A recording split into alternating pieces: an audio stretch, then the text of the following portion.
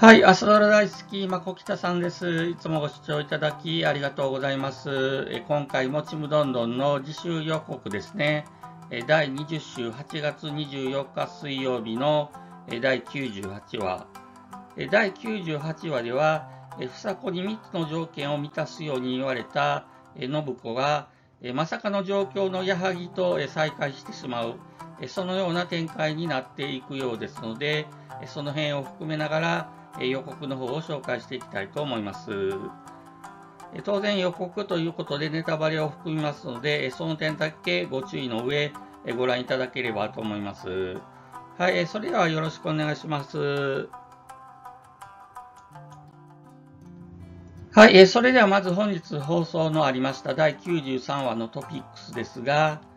房子からそれはネズミ講だと言われた研修が確かめるために事務所の方に行ってですね、大会は違約金を払わないとということで茶番が始まったこの場面ではなかったでしょうか。今回はなんとガナハも被害者、詐欺師も悪徳商法に引っかかるんですね。そして優子はまた研修に200万貸していたんですね。これは毎度のことなんですけれども。そして信子の開業資金が持っていかれるという最悪な事態になっていましたね。はい、えそれでは予告の方ですね。第98話は矢作との再会となっております。え信子がどうしてもこのまま回転するというのならと、房子は3つの条件を出すようですね。まあ、先輩オーナーとしての、まあ、老婆しながらといったところでしょうか。その一つが店の味を任せられる料理人を雇うことだったようですね。え信子がこの条件に合う料理人を探す中、ばったり出会ったのは、えなんと食い逃げで捕まった矢作だったようですね。矢作もかなり気に落ちてしまっていますよね。えそしてこの流れなら信子は矢作を自分の店の料理人として雇う展開になりそうですね。この辺は私の予想通りでしたが、しかしどうやら一筋縄ではいかず一悶着があるようです。一方、その頃沖縄では良子が学校給食の改革に悪戦苦闘しているようですね。困った良子が母優子に相談すると、優子のおかげで話が動き始めるようですね。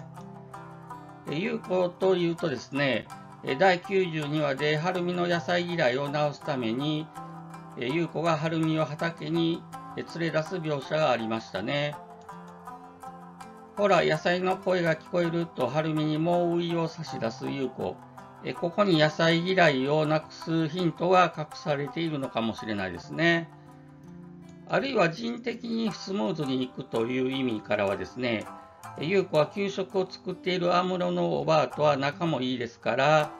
なかなか給食を作っている人とうまくコミュニケーションができない良子に対して、優子が働きかけてくれるのかもしれないですね。はい、えー、第98話、信子はどうしてもこのまま回転するというのならと、え、房子は3つの条件を出します。その1つが店の味を任せられる料理人を雇うことだったわけですが、えー、信子はこの条件に合う料理人を探す中で、え、ばったり出会ったのは食い逃げで捕まった矢作だったようですね。一方、その頃沖縄では良子が、え、学校給食の改革に悪戦苦闘していましたが、え母、優子のおかげで話が動き始めるようです。はい、えー、最後までご視聴いただきどうもありがとうございました。また野菜、それでは次の動画でお会いしましょう。